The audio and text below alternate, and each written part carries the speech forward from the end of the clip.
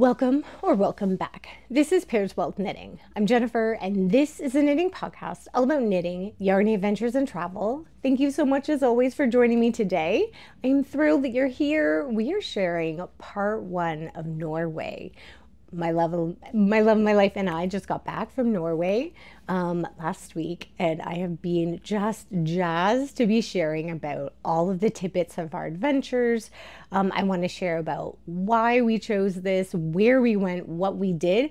There was so much that I have to chunk it up into parts. So, this is part one, and this episode will mostly and only feature Oslo.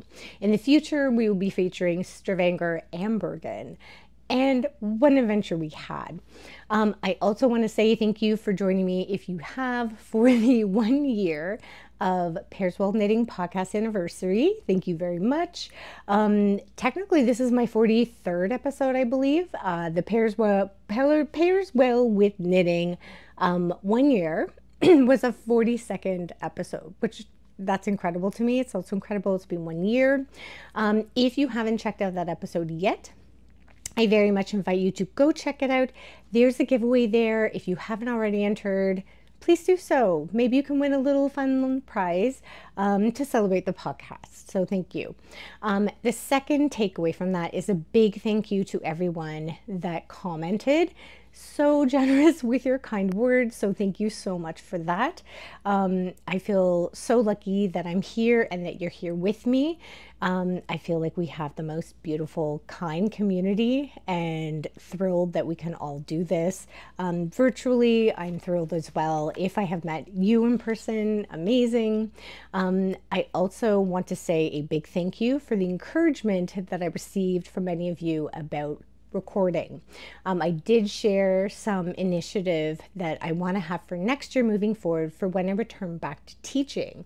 And knowing that I will not have all of this divine time to be recording scene after like shot after shot after shot um, which i've had the luxury of doing this year so i feel like you haven't seen the true glitches um, and the tongue ties and things that I have, which is human.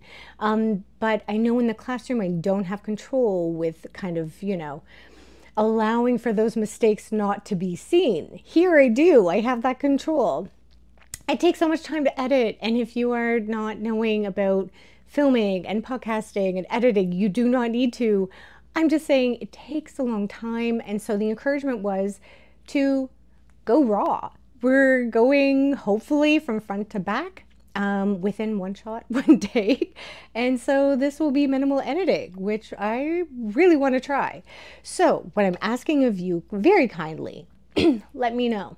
Let me know your feedback um, if this is working for you, if it's not, and I'll have to move forward with a plan of either continuing on with this method or going with the editing version and I'll just have to make some mods to see what's going to work best for me for when I return.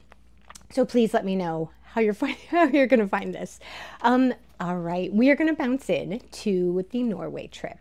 First of all, Norway was always on the list for the love of my life and I to visit one day. We didn't know when that day was going to be, and luckily this year, with having the whole year of sabbatical off, um, we were really able, I think, to dig deep into where we wanted to go. We usually are travelers anyway, but this really allowed us, I think, to not feel as restricted with timing and dates because my job is very much dictating when we can go away with Norway, we felt like obviously the summer was the best time, and I felt very like naughty but good. We were able to go right before school finished um, for our academic calendar year. So technically, we were already in Norway by this time, school was stopping here in Ontario, which was really nice as a teacher thinking, ooh, I'm already, I'm already out there. Um, so that was awesome. We chose Norway as well because of the scenery. We are such a lover of mountains and ocean, two things that we do not have here in Toronto, um, coupled with lovely people, the culture, and of course, yarny goodness. This is the motherland of knitting, sheep, yarn. I mean, and it was absolutely everything that I think we have both dreamed of. So, um, so let me go over all of it. This is also heavy. So Oslo is the capital of Norway, the biggest city in Norway, and down in the south of the country of the they call it the lamb chops so right down in there. And we could not get a direct flight from toronto so we flew from pearson toronto to montreal to stockholm and then oslo. It sounds complicated and gruesome kind of with all the plane rides. It wasn't that bad. Um, i feel like i've done way worse and um, the flights were pretty much on time I mean, it was no big deal. We're, I think we're avid travelers as well, and we travel with carry on only, which, if you haven't seen, check out the traveling video for packing. I did a carry on only video, and I only travel with carry on and my Me Made Makes with knitting. Um, we got to Oslo. I had slept on the plane, uh, which was like the first time ever. I had a flight plan that I coupled a little bit of wine with some uh, some items, so it helped me sleep for the first time ever. And I have to say, it made all the difference. However, I was very groggy the first day. So the first day in Oslo was a bit of a wash for me, but beautiful. We actually were told that we had brought the sun to Oslo. They had had a lot of rain in Dal, and great for us because we have had a lot of rain here in the city like all year. So that was a great start. Um, I will go through and I made tons of notes to help me along.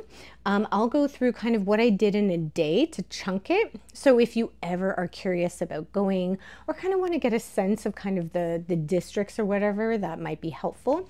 This might even inspire you to maybe adventure out of your comfort zone and do different traveling, different style of traveling. So often when I travel, the Love My Life and I will make a spreadsheet. Um, it'll include all of the flight details, of course, the accommodations, but then also what we're interested in, or if we have additional bookings that are coming up. So sometimes we'll book a special dinner, we'll include that reservation into the spreadsheet. Um, and then to get us all excited and slightly organized, um, we'll include places we want to go or activities. So it was chocked full of yarn shops of Oslo because that could be a whole adventure of itself. Um, coffee is always a really big thing for me when we go away. I love visiting different cafes and coffee shops, roasteries. Um, also was obviously not a disappointment at all. They're big coffee culture there. Um, yeah, so let's get in. So day one, again, this is like chunking uh, we did a beautiful walk along the river. Of course, I forgot to write down the river name, um, but it's right in the city center. And reach out if you have any questions about it. We walked first to uh, Tim Wendelboe Cafe. Uh, Tim Wendelboe, if you are not knowing and not into super coffee culture, um, he is a massive award winner barista. He had one, and let me just check my notes because I don't want to get his uh, awards wrong. He has many. Uh, he has won the Barista Championship in Scandinavia many times, uh, but he also opened the world's best roastery. Uh, that won in 2013. The cafe is called Tim uh, Wendelboe uh, Cafe or Wendelboe Cafe. Uh, just note if you are ever going, uh, reach out, let me know, and I'm really excited to share with you. There's two locations. One is a cafe location, and one seems to be an office.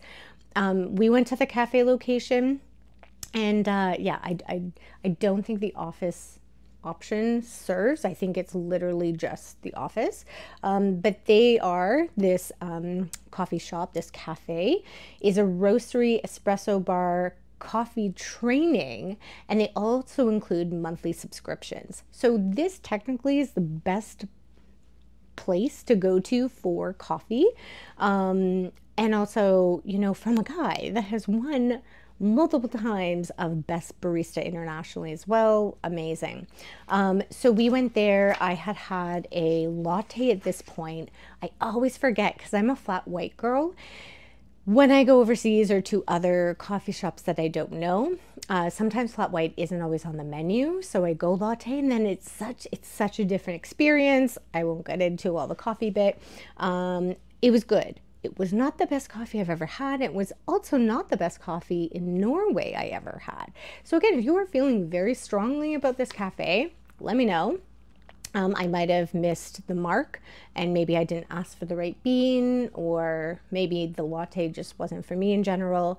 it was interesting. I was really excited we went. It's a beautiful place. Um, but wasn't my very favorite. Um, Love My Life doesn't drink coffee. He's a tea drinker. They only had herbal tea. They also have no baked goods there. So if you were going, just expect the coffee from what I've seen, what I experienced that day. Side note, um, interesting. And again, this is like a beautiful cultural difference. We were sitting outside. It was hot. It was almost like 30 degrees out. The cafe in itself with the seating area is quite tiny. So they have benches on the outside, no tables. Again, super minimal. That's the whole feel of this cafe roastery is that you're there for the coffee, enjoyment of the coffee, not for anything else. And I was sitting down with a love of my life, enjoying the sipping of the latte, chatting. You know, this is technically day one that we're in Oslo. And I look beside me, and there's a little cart, like a pram, a baby pram. Again, this was, you know, part of the city. This is what happens, not so much downtown Toronto, but in all of the cities that we visited in Norway, babies were very present, little babies. There was a baby in the pram beside me with no mommy around. And again, this is so not here um, that they felt perfectly fine. The it was a whole family. It was like grandma, I'm I'm assuming, and a friend or a sister. Felt great to go order coffee, allow the baby to sleep, which is amazing, and then come back out with a coffee to the baby who was still sleeping. it was amazing. I love it. I mean, this country, glorious, glorious. Um, so that was the Tim uh, Cafe. Beautiful. Um, we then ventured on, I feel like my light's changing, of course, with the time of day. Uh, we ventured on into the Yarny Adventure. So in this area, we continued past, did lots of walking, obviously, in Oslo. Very walkable city. I'll give you some breakdown and down low about that in a moment. Um, we went to Fru uh, Kif, Kifst uh, and that is one of two yarn shops. I'll talk about the yarn shop. I'm going to talk about my yarny purchases, and uh, so exciting. So this yarn shop was on my map. It was on actually as a different name. They had recently taken this shop over within the past year, but oddly Google Map hadn't updated with the new name. Uh, Fru uh, Kvist is one of two locations. Like I said, there's a downtown location, which I did visit, but this location was out in Gruno Loka, Laka, and um, in like a hipper uh, area of the city. Not as busy, um, but vibrant, vivacious. It was lots of fun cafes and restaurants there. Um, walked in, loved my life, hung outside in the park in the shade because it was hot, and I had the best time in there. And again, going to the country, knowing I was only going to do carry on, not try to check baggage, I left a smidge, I mean, I'm talking a smidge of room in my backpack. So I had to be really mindful about what I was purchasing. Um, they had all kinds of beautiful wool in there. Um, very you'll you'll see like mainstream Norwegian yarns were there. They had Rauma, uh, so um, Rauma Garn which is a very local Norwegian yarn. Um, I've used Ramafino before. This was all over the place, but obviously tons of different bases that we do not have access to directly in stores in Toronto. Um, they have tons of Sandnes. Sandnes Garn obviously is a Norwegian brand, and I think if it's not the biggest international yarn brand, it's definitely the biggest Norwegian yarn brand. But I'm pretty sure it's the biggest international one. Correct me if I'm wrong. Um, other big Norwegian brands that they had uh, were, I should say, um, independent uh, yarn brand they had that I recognized was Hillesvåg. I really tried to pump the brakes when I was on, in Oslo for all the Hillesvåg yarn. I was like a kid in a candy shop and just like, you know, squishing and sniffing and wanted to buy everything, but I was going to the mill you're going to be seeing an upcoming episode all about Hillesvåg and that experience because it was fabulous. So didn't do that.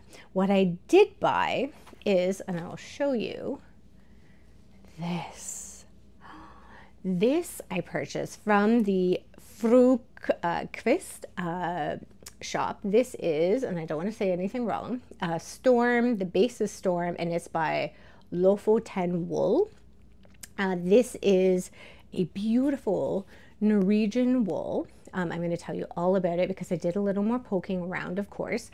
Uh, this was recommended actually by the Chickie that worked in the shop as one of the more like local um, national yarn brands.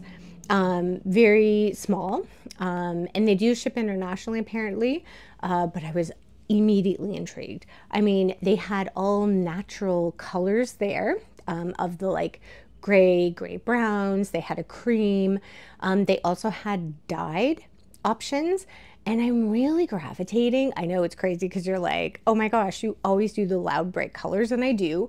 Um, but I'm really gravitating when it's like this kind of like really rustic, oozing, like farm to hand yarn.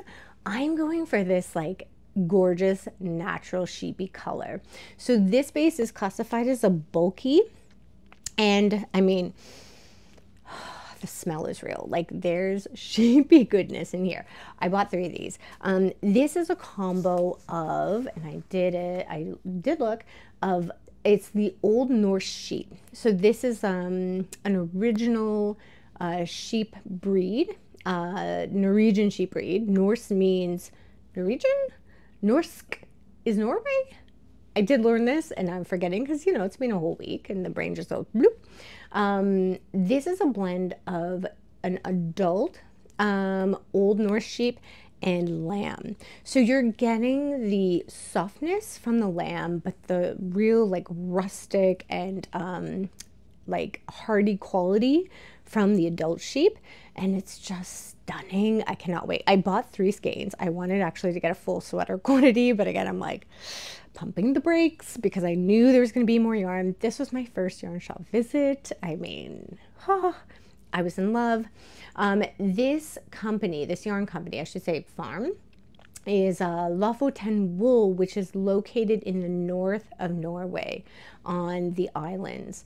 Um, they, hold on, sorry.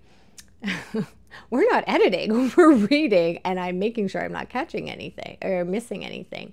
Um, sorry. So this is in the north of Norway, in the Lofoten Islands. Um, they so again, it's the mix of the gray lamb's wool and wool from the Old Norse sheep, as I said. What they also do is they do, I guess, a shearing. They called it a crop was the translation, but I think it's shearing.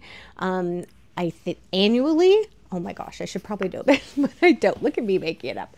Once a year, they shear their sheep, and there is a date, like an um, uh, what's called year. I was like anos, uh, year that is on each label. The year allows this to like it's vintage. So um, it's like wine. They refer to it like wine, where it's when we think about wine uh, consumption that we refer to years or vintages um, with the year. So we're like, oh, vintage, you know, 1997. It's the same idea, but with yarny goodness. So this is from 2021.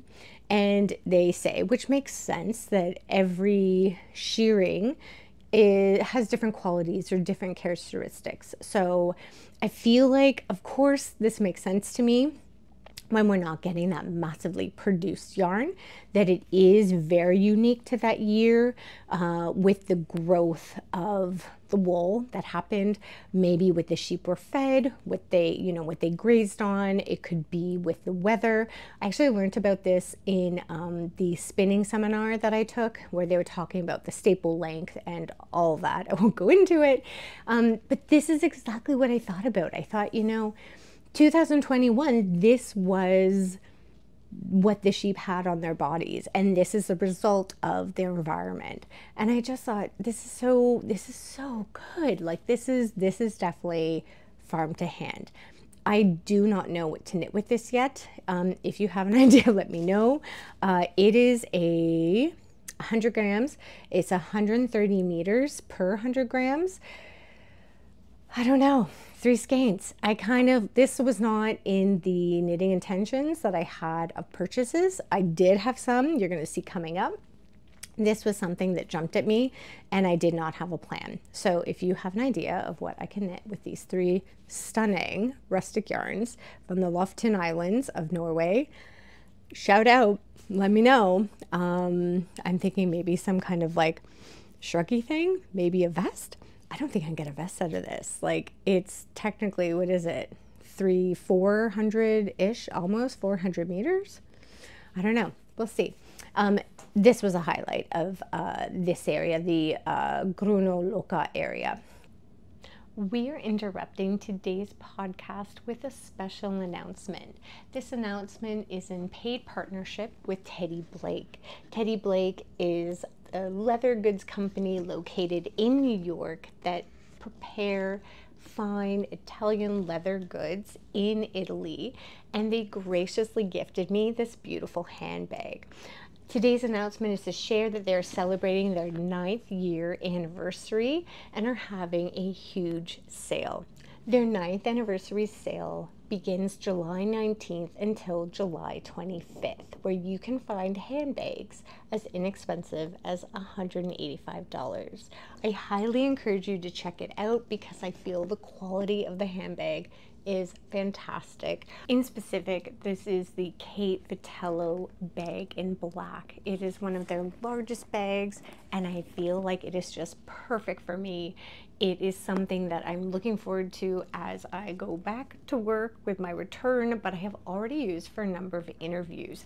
It is large enough with the expandable features that I was able to fit my laptop along with everything else I was bringing to the interview. And because of course I'm using public transportation and walking everywhere and hustling, of course, um, I'm not only using the small handle that is on the top here, which I think is already a cute look, but I've been using the shoulder strap as a crossbody bag that really allows me to move quickly around the city. I have to say I'm really impressed with this bag in general and feel so happy that this is the bag I picked. I feel it is a classic. Um, so I invite you to use the code with the link below um, so you can peruse and enjoy the sale that Teddy Blake is having. We're going to get back into the episode. We finished off the day by stopping at the fortress. There's a fortress in the center of Oslo. I, I would call it the center, um, called the Akershus, uh, Acres maybe. And that is the original fort of the city center. Um, I've got a little blurb about that. So it's the it, they've low they picked the location for the fort as all forts do because it's great vision of possible enemies that would come in, so they can protect their kingdom, their castle, their land, um, and they chose the innermost part of the fjord. The fjords are essentially waterways that go in and out of the land. Um, stunning, beautiful. Uh, it was built in, the walls were built in 1624, but there were many other buildings within the fort that were built much earlier. And the castle that was built in the Middle Ages in Norway were was in the 1300s. Uh, so, and at the time it was called Christiania. Uh, so it was protecting that fort was protecting that royaume. Uh, what's it called? Kingdom kingdom. um, today, the fortress is accessible to public with no fee. You can walk through and it's beautiful to look at. Um, there is a museum where I believe you do have to pay, but we didn't hit that at the right time. And visitor center at as well serves as a concert venue. Side note, in the evening after we would get home, uh, I should say, to the hotel after long days on our feet and had had dinner and a cocktail and all these beautiful little things as we do, um, there was always a little Norwegian sing along. It sounds it sounds so fairy tale, um, that was on the television. And there was very little English um, on the TV show. I didn't even talk about the generals of Norway, but I will. Um, so we would tune in to this sing along, Norwegian sing along, where I think most of the songs were in Norwegian. And at first we tuned in because it was kind of funny. It was like, oh, they're doing a sing along. It was all families and very like crazy wholesome. And we started recognizing some of the locations around Oslo where the concerts would have been. I'm guessing these were pre filmed, although it did look like we actually walked by one that was possibly being filmed um, the night before. And we started doing this every night upon return and it became kind of like you know a little fun like you know vacation after the day is done simmering down moment. And we loved kind of the people watching of it. Anyway it's just like just a wholesome country. We love we love. Um, i do want to make note now before i get into the day two component of norway because we're not refilming, um, I'll share some of the Norway generalities that we found. So, first of all, English is present. I think it is the first not English first country we've been to where we've had as much English as we did, if that makes sense. So often when we travel, there will be another language, of course, that is the official language of the country or a number of official languages. And English is known by people, um, obviously more in city center than not. And often we try our best to get by with some words and polite phrases to help us get through whatever it is in order or directions. This was full English. Everyone that we had encountered, city or not, spoke English and probably spoke English better than most North Americans. Um, it was very impressive uh, all of the menus and everything written. Uh, there was some English component. Translation might not have been 100% for what we're used to. It, there was no problem communicating. It was it was very surprising. It was surprising. It was very nice. Um, but I do have to say, as someone who I think enjoys trying the challenge of saying different words in the home language of where we're going, I don't think I learned any new words. I mean, I knew some knitting terms only from being in social media with knitting. It was it was very different. Um, appreciated, but very surprising. So English was everywhere for sure. Um, other interesting uh, th- things to note were prices we were warned, and after all the research I did, of course, um, knowing that prices would be not not inexpensive. Um, prices are very, I would say, fair. You are paying for products, you're paying for services, and over in Norway, it's a highly socialist system, so people are getting paid at fair prices, unlike North America, where we have a, a big sliding scale of what is acceptable. Love My Life is on the phone. We're still going to try to roll with it. I hope it's okay. Um, so costs can be down as well. A big difference was a lot of things. So um, products or other items that were produced, I guess as products, um, food is as local as it can be. That is, of course, because you're paying for that thing to be prepared by someone that's getting paid a fair wage, um, makes it more expensive than here, where we're getting products and things in from countries where people are not paid fairly. They do not have health care.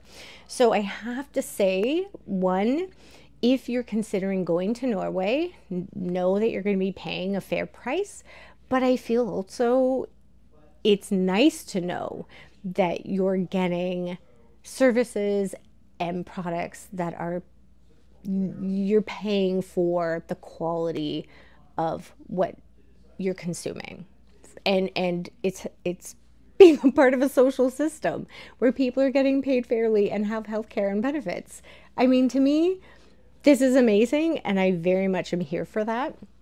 Um, I hope you feel that way too.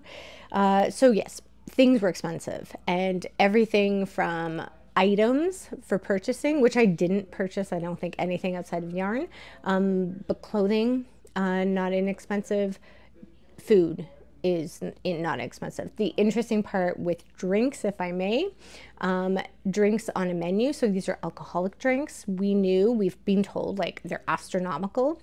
I think a lot of the prices coming from the downtown core of Toronto, they were not exceptional compared to what we're used to. There were some funny differences with like beer and wine. Um, here in Toronto, you can get a pint of beer for like I don't know, 10 Canadian dollars maybe, depending where you are.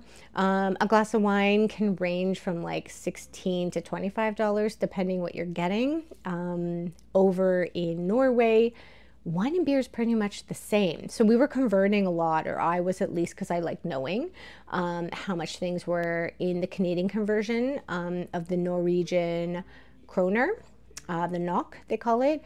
And uh, beer and wine was similar. So if you were, you know, ever like swayed with prices, have what you want because you're paying for it anyway. Um, apple cider was a big thing over there as well. Uh, they really pride themselves on beautiful quality apple cider. This is alcoholic cider and as well it's the same price as beer and wine whereas over here we have lots of you know apple cider that we consume and it's quite you know, inexpensive compared to these things, very on par with beer prices, and beer is inexpensive here. Those are interesting things. Um, the city also super incredibly walkable. I walked everywhere. I don't think I used public transit except for to and from the airport. We never rent cars when we go away to Western Europe. We really rely on public transportation, and you can there absolutely. Um, the thing with cars as well, we noticed right away there was very little car movement or little cars, period, that were in the city center. It was very odd. You could look down the grid of the street at a four way stop with lights, nobody would be around. No cars, just pedestrians. It was it was very odd. It had an odd sense in the beginning because I didn't fully understand. I thought, you know, it's a weekday, like where's everybody? You're going to see in my day two, it all came together and I figured out why there weren't a lot of cars there. This is all speculation. This is from my observations. Yarn. Yarn is available across the country, of course, um, in every city we went to. It is, there are a plethora of gorgeous yarn shops that are curated just fabulously and you want to be in there you want and you're i think you're encouraged to like touch and talk and figure out your project there. Um, but as well, they're in department stores. Like yarn is literally everywhere, which as a knitter, we're here for that. Um, and oh, I do want to talk about the VAT form. I'm going to talk about that, I think, at the end. Um, that if you are ever going over, um, hopefully this can help you out and uh, some tidbits to do and not to do for that. Um, we're going to go into day two now of Oslo. So day two, uh, we walk to the palace. There's um, the palace that is located kind of at the top of Karl Johan, uh, which is the main strip, the main street of Oslo. This is the kingdom of the royal family. I don't know if they were physically situated there still. The palace was closed when we were there, but the gardens seemed to be open. Um, we didn't do a tour, obviously, because it was closed. And again, this is still a country that has a royal family. So they work like Canada in that there's a royal family, not that we have one, like here in Canada, in, in the UK, in London, um, that they have a prime minister. So this is how their government system works. Won't get into the politics of all of that. Um, but beautiful walk, very hot, no shade. Um, then we went to, we, we did this kind of a downtown day. So the first day was the Grünerløkka area, hip, cool area. This is a downtown core, the busier city center. Um, we went to a department store called Heimann Hoof, Hoofeden. Um, this is a department store that I found on my own and then I feel like I saw on a couple of like vlogs that I was watching as I was kind of gathering information about Norway and Oslo. And this was a spot that people, you know, said we should check out. I'm trying to see. Yes. So this is a department store of um, many that are located not only in the city of Oslo, but all over the country. And they host uh, traditional Norwegian garments So these are, you know, different dress, blouse. I'm sure they have all very specific names. Um, I do not know them and I don't I don't want to go there. Um, but as well they have tons of yarn and Norwegian heavy yarn. So again, very Norwegian brands are located within the department store. The department store is like on top, it's like perfumes and you know, it's what we'd expect in North America. But as you go down on the other floor, the second floor, we went to the um, uh, flagship store in Oslo of this department store. Uh, this is where all the knitting goodness is as well. Um, so they have different international brands as well. Beautiful displays, tons of samples in the department store so different, so interesting. It was it was awesome. Um, they had a beautiful display for Rauma's summer release of crochet. I don't know the designer or designers behind it, but I just felt I'm like this just came out days before we left. I saw my Instagram feed, and here I am seeing samples. Like we don't have this in North America. It was so cool, so neat. Um, yes. Then from there, um, I went to a sewing store in the core called Some, oh gosh, uh, Some Sen Letret. I might have even spelled it wrong. Um, it was a sewing shop on the corner in this downtown area. And I just walked in to see what there would be. Um, in my research, I saw that they would have some yarn as well. So just want to check it out. Again, very Norwegian heavy with Rauma, with Sandnes, and with, uh, what am I missing? I can't remember the other brand, sorry. Uh, they had a lot of different thick mohairs. And when I'm talking about thick mohairs, I'm not talking about like the lace mohair that you pair with like a fingering yarn. This is mohair that you hold single.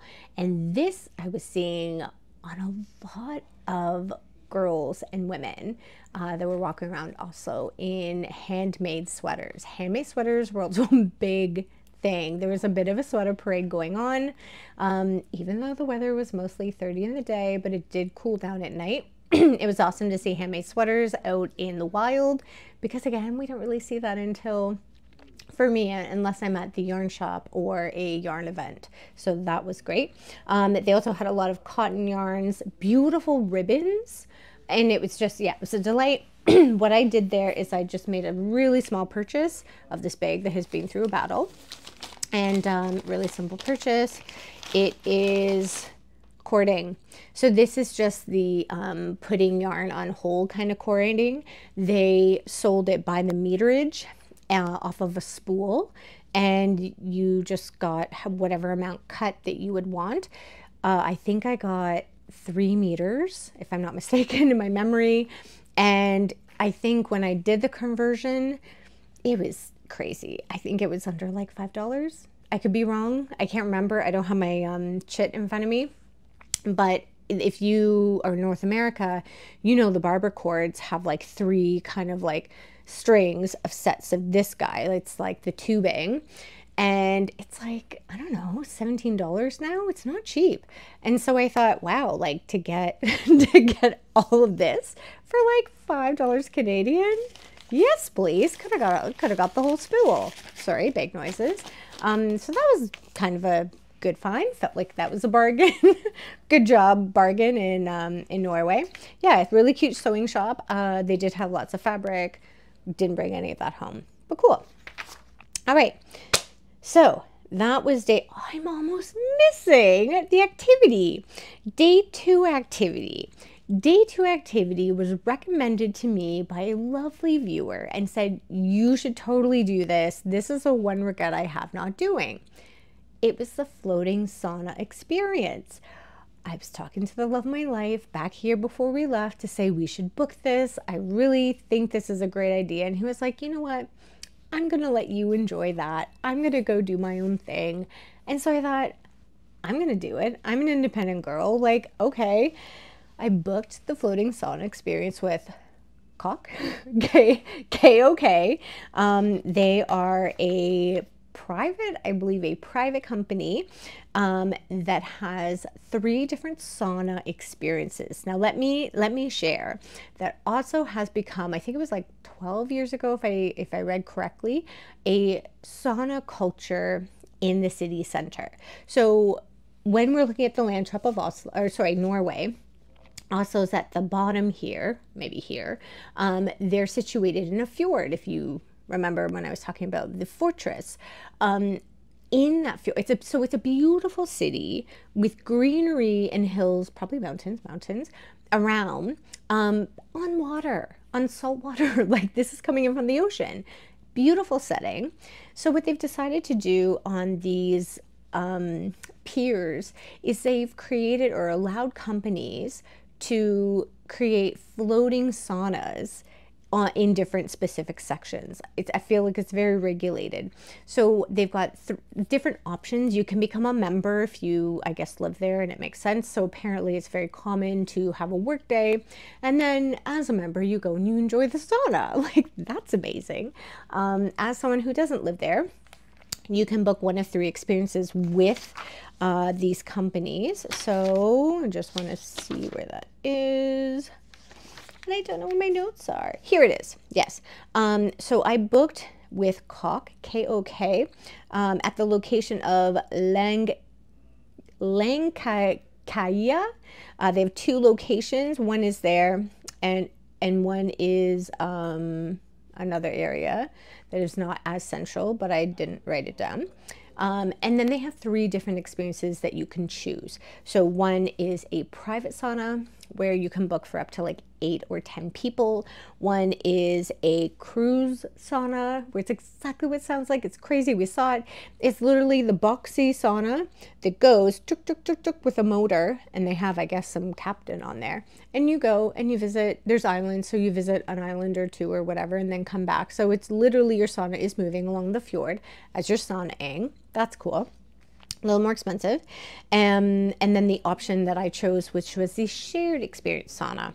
It's floating, but it's like anchored in or hooked into the dock off of the main, like you're in the main strip of Oslo, right in the city center in the fjord. Um, that's what I chose. So that hosts up to eight people. So I went with the little guide of note of like, this is what you could do or bring to prepare. And I did. And uh, it was such a fabulous experience. So I said ciao to Love My Life.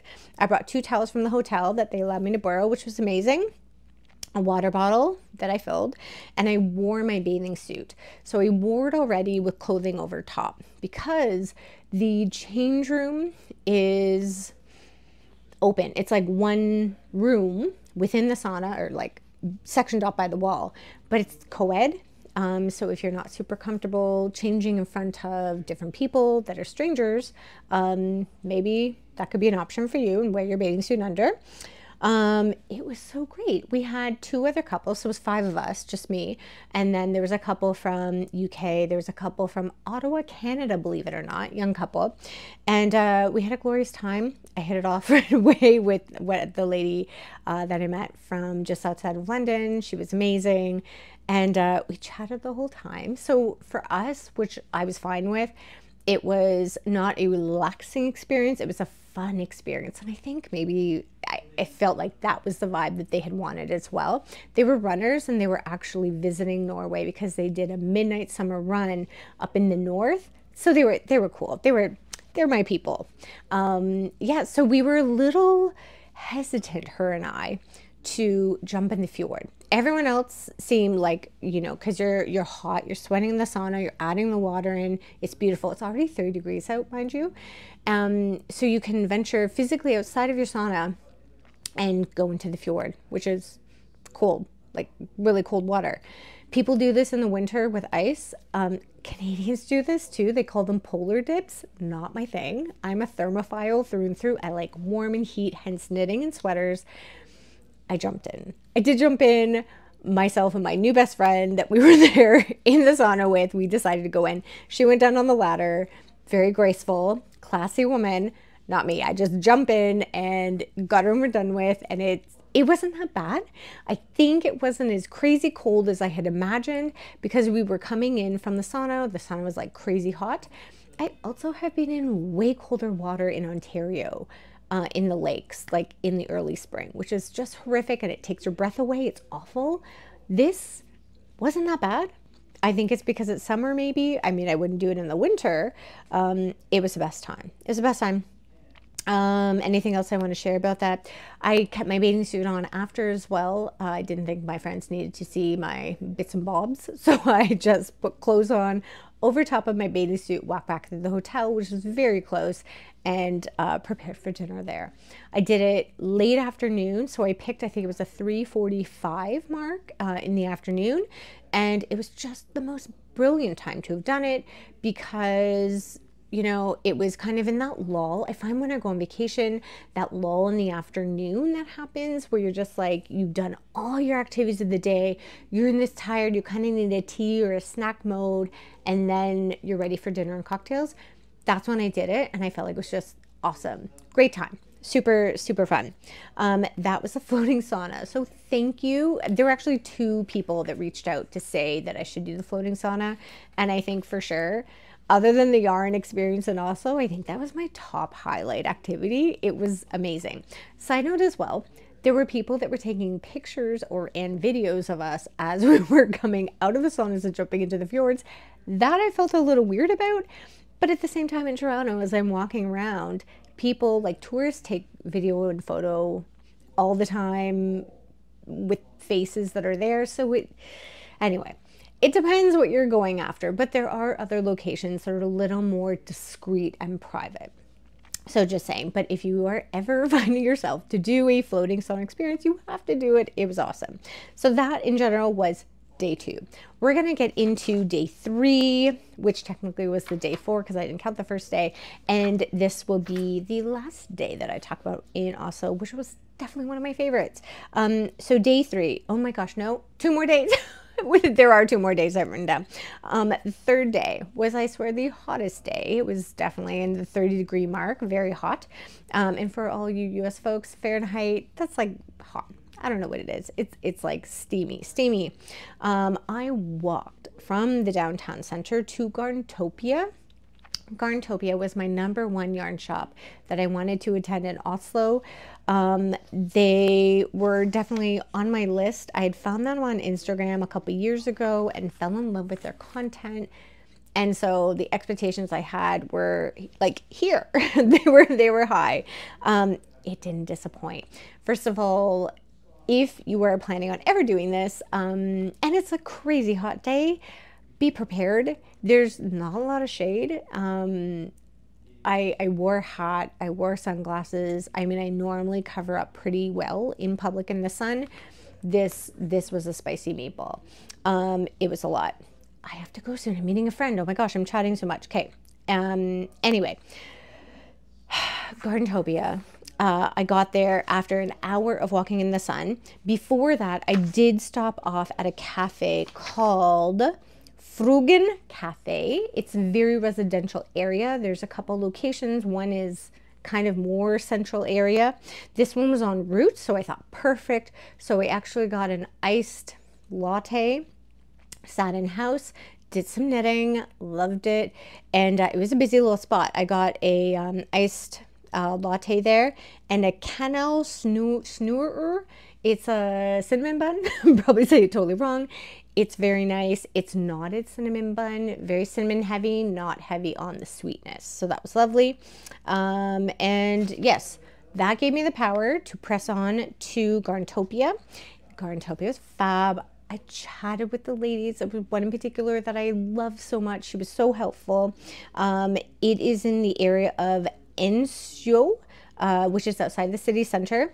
That is where I saw as you're leaving the city center, um, there are arms, like full on, you know, parking arms that come up and down, monitored with video for cars going in and out of the city with the assumption that they get tracked and charged for driving into the city, which I've heard other cities do as well, which is my proposal as to why the city wasn't rampant with traffic like Toronto. Fabulous idea. It really limited the amount of cars going in because I think it's probably so expensive um, which I'm here for because cities in the like cars in the city, it is a lot. Um, pedestrians can find it challenging as bikers, and anyway, won't get into that. So, uh, yes, Garntopia had Rauma, Sandnes, Isager. Um, tons of knitting for all the beautiful displays, ton, ton, tons of samples, um, accessories as well. They had Filklana, CaMaRose, fabulous. I could, I did, I spent at least two, two and a half hours in there. Um, here is what I purchased. This. I have purchased this name that I'm going to be very challenged in saying. Um, I bought a sweater quantity. I won't show you all of them right now. Um, I'm going to try to say it's uh, Helholtz uh, Oud Spinnery. Uh, that is the maker, um, and it is the actual hand Vekergarn. That was pretty good. Like I feel pretty good about that. Um, this I purchased from Garntopia. I did purchase, as I said, a sweater quantity. Yes, somehow magically I fit it into my backpack. I really don't know how I did, along with three skeins of storm over there. Um, I am just so jazzed about this. This is not a Norwegian yarn. This is a Danish yarn. And actually, going further into the research I did after I purchased, it's even less Danish than I thought, but it's fabulous. Um, Petite Knit has designed a couple of her sweaters using this base. This is not why I got it. I purchased this yarn because I do not believe I can get this within Canada or at least in Toronto. I've never seen this in a shop and I thought, well, I'm there. Then I don't have to pay shipping and it's stunning. Um, I got a very light colorway. I was really undecided on what I wanted. They have beautiful dyed colors and the natural colorways as well. I actually, in choosing this, um, the lovely lady I was working with in the shop said this is actually the most popular color. I think also because apparently Petite Knit has designed exactly with this color in some of her pullover sweater designs. Um, but I love it. I love it. I love it. It's super soft, but with a rustic hint, like a nod to rustic. In the research I did about this yarn, um, this is blah, blah, blah. Uh, yes, it's a Danish yarn. It is in the color 23 or sand from what I saw on the band. Um, it is a blend of Gotland and Merino. So again, no Norwegian or Danish bits, I guess. Um, in moving further, uh, I learned that this yarn blend is actually from the Folk Islands, which is not even near Denmark, but I mean, it's beautiful. So interesting. I'm really happy I purchased it. Not so much a local yarn but a great memory because it was definitely a feat to get to the yarn shop for pressing over an hour in the heat and I was really happy. And I walked back too by the way. So technically two hour two hour hike to and from Garntopia. Um, yes I also learned, side note, at the yarn shop from the lovely ladies there, because I was talking about like we can't get our hands on patterns from Rauma or Sandnes a lot of the time here in North America. And what's up with that? Basically, it's a yarn company choice. Traditionally, yarn companies um, basically couple yarn purchases with pattern. So they only offer pattern purchases with their yarn purchase. So you have to purchase a quantity of their yarn. It doesn't even have to be the yarn that's called for in the pattern. They basically want to guarantee that they are selling their their yarn, their product to you. So I did try to see if I wanted to purchase some yarn um, to get a pattern and I didn't just because, again, I was purchasing so much. I had this on my wish list before I left. And so I was holding off, as well as you're going to be finding in future episodes. There's more. Um, right, that was uh, Garntopia. That was the beginning of the day. I tried to do that. Uh, then um, in the afternoon, much later and cooling off, uh, the love of my life and I met up and we walked along the Opera House. We're up to the Opera House. At the Opera House, um, which is located right on the fjord, center of the city, on the water, beautiful location, stunning modern design of glass and um, marble. I think it's a marble. Uh, they have the Opera House accessible to walk up. Um, it was amazing. I mean, so cool to have a building where you can access outside and in. Uh, so we did a little walk up to have a view of the city and the fjord. It was beautiful, uh, very touristy, as it like it makes sense. It was awesome. Uh, yes, and there are funny little steps that are not highlighted because, again, the aesthetic is that uh, they want the marble to be the highlight in the feature. So there's funny little steps up or different like non-joins of the marble as you're walking. And for me, because I'm always looking at everything, um, we stumbled a couple times. So just be careful about that if you ever venture up to the Opera House. Um, and then we finished off the evening at Cafe Skansen. Cafe Skansen is an old, I don't know the oldest, but a very old uh, cafe restaurant uh, in the core. Uh, it is a Norwegian cafe serving up the quote, modern Scandinavian cuisine. Um, and it steps away from other Michelin star restaurants. So it's in this really stunning area. There's a park beside it, the Contra uh, Park. I'm sure I'm not saying it right, but at the time there was a music festival going on uh, right beside. So it was a hot spot. We sat outside, we enjoyed people watching. We didn't make a reservation. Um, we were just kind of hanging out until we came in. I was knitting, of course, in line, which was totally cool, and people watching, which was great because it was a parade of sweaters.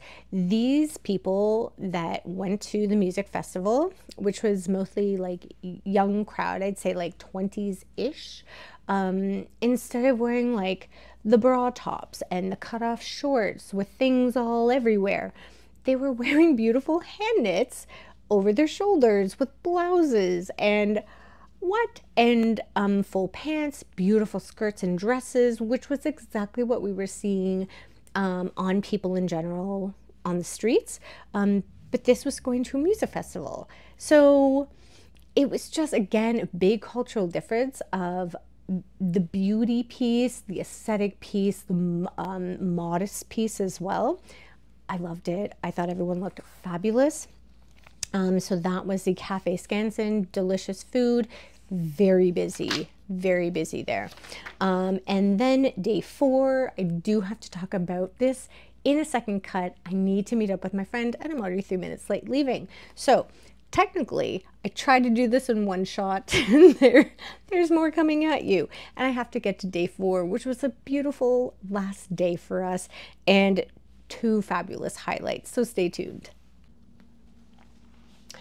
Well, hello. We are going through our final day, day four of Oslo, before pressing on to other parts of Norway. On this day, it was a really hot, sun drenched day. Um, we had decided to attend the Norwegian Museum of Cultural History, also called the Norsk uh, Folk Museum. This was a bus ride away. It was one bus only to get there from the city center, super easy to get to without a car, and it was fantastic. Originally, I had wanted to go to the Viking Museum, which is located in a very similar area. Almost, I think, you know, the, the borders are touching property. Um, however, the Viking Museum is closed under renovation until 2026. So we will have our heart set on it for another time. Um, in the meantime, we did attend uh, the Museum of Cultural History and it was lovely. Uh, so this is an open air museum that features buildings from across the ages of Norway that backdate um, from uh, 1500, which again in Canadian terms is very, very long. We're a new country. Um, and it was fantastic. When we arrived, we had purchased our tickets and then we were able to get a group tour there's two tour uh, languages from what I read, Norwegian tour and an English tour. We of course chose our English tour and it was a packed tour. Within our tour group, we had everyone from senior age to children and our tour guide who spoke perfect English Um, was super informative, very charismatic, really spoke to the group really well. Um, informative, of course, but really played to the variety of ages that were within our tour group. She was lovely. Uh, the tour guide, and then all of the people on site within the building areas. Um, and there's there's tons of 160 buildings. Um, people that are there as part of the museum. They're wearing um, date appropriate attire to go with the building era that they're around which I thought was fabulous. Um, so again, these are these are buildings that have been collected uh, from across the country in Norway and transported and rebuilt um, or put back together uh, at this museum. So this reminded me of Ontario. We have a Black Creek Pioneer Village, similar idea. Um, one of the buildings that you may recognize or may have heard of perhaps because it's the most famous is the Gol Stave or Stav Church. This is a church originally from 1200s, um, but had burnt down and so was rebuilt. And it was rebuilt in 1884, apparently as an exact replica of the original. I, I, don't know if this is true. This is what I read. Um, and it's a beautiful wooden church, um, medieval with a nod to, I believe, the Viking times from, from my memory of the tour group. It had undergone various religions um, that practiced within that one church. Um, so I think really showed the history over time with different additions or changes that happened um, within the church itself. It was beautiful. Along with the church, there or, or and buildings, um, there's exhibits as well within the museum grounds. One of which we went through quite extensively was an exhibit of the Sami culture or the Sami people, and this is an Aboriginal group of Norway. Um, very interesting, of course. Uh, there was also featured a long route, um, and we were there for quite some time perusing uh, folk dancers. So they have dancers that display and participate in um, different cultural dances of Norway. And uh, music, of course, the full garb as well. And there is some farm animals as well as you go through the different sites and buildings that would be, um, I would say native, native to the country, but we know farm animals are never really totally native. Um, this included the Old Norse sheep and a certain pig. I don't know what kind of breed of pig it is. I'm not a pig nowhere, Um, but loved it. And I loved seeing the Old Norse sheep, which is the Old Norwegian breed of sheep. Um, very cool, slightly smaller than I expected, and um, uh, curly, curly uh, wool, can I say. Uh, the coats were curlier than I had imagined, and I've seen in other breeds that I've seen in Ontario. Um, so, in general, that was the museum. It was fantastic. I ended up from there. I did do something else this day. I forgot about this. And I did do another yarn shop. My goodness. Yes, I did. Um, so we got back on the bus together. Uh, Love My Life was a little overheated, so he went back to the hotel to literally chill out. I continued en route. Um, I got off the bus at a certain point and then did a big walk. And I walked up to, it was called totally cheated and I looked it up because I didn't write it down. I walked all the way to Strick Fiba. Uh, this was a yarn shop that was recommended to find hand-dyed yarn and I did. Uh, this is a hand-dyed high hand dyer, hand-dyed yarn shop mostly. They had some non-hand-dyed items, but again, being summer, it was a lot of cotton, cotton yarns, a lot of crochet-esque things. Um, I don't think I took footage here. I'll include it if I did. Um, but the hand-dyed yarn that I was looking for, it wasn't as hand dye as I had wanted. It was hand dyed mohair, mostly one color, like one saturated color, and uh, boucle. They had a boucle as well. Um, so didn't really fit the bill for what I was looking for. Uh, they did have great accessories and quilted, like already made quilted items. Um, they looked very handmade. Um, they, it was jackets and vests, beautiful, uh, not inexpensive, but interesting. So I had done a really big walk in the heat with little success, but was interested and happy that I had ventured out to this yarn shop as well. And I can definitely see in the winter how it would be fantastic with different options of more yarny type goodness, woolly bits, I'll say. Um, and so that was our day four wrap up. Again, it was a lot of adventure and super fun. And uh, that was Oslo so many highlights, I feel, because obviously there was so much to be done that I do feel like I'll have to return one day um, to the city um, and enjoy more. Uh, it was a great, I'll say, like taste of the city for sure. I think we definitely stayed busy every day. Um, I felt like I'd ventured um, as much as I could. And uh, yeah, it was great. I can't wait to go back. Um, so, coming up in part two will be the Stavanger experience um, and Bergen as well. Uh, we also, and I'll just prepare you a little bit. Um, we had a couple days as well in Zurich, Switzerland. So this is where we flew out of, and that is our trip. Um, but I felt like there's just so much to talk about and so much goodness. So I definitely felt the need to give it a chunk.